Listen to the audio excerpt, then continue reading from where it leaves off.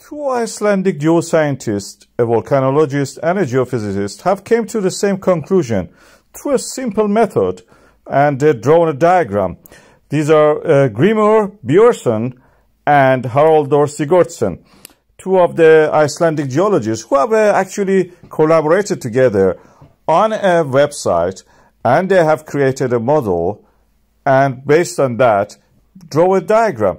Very simple. It shows what the Icelandic Meteorological Office have provided in the numbers of the days past since accumulation of the magma started to the time that it erupted.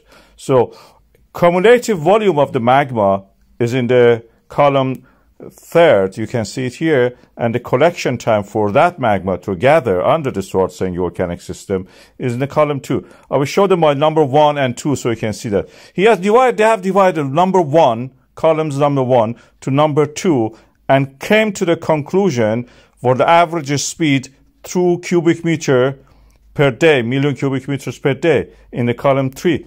And then they plotted it on a diagram. And the diagram shows that if you follow that uh, through uh, two lines, the green line is without the waste Uh, of the March 2nd, which actually around 2 million cubic meters of magma was wasted. The yellow line shows the, if you consider that, the time is added to that. They all show that by the August 2024, we will have come to the end of the Svartsengi volcanic system where there will be no magma flow into the system. Based on the data that we have, they came to this genius conclusion. I will give you the link for this and you can read it for yourself in their website. Their diagram is so simple and so beautiful and it looks to be right when it is simple.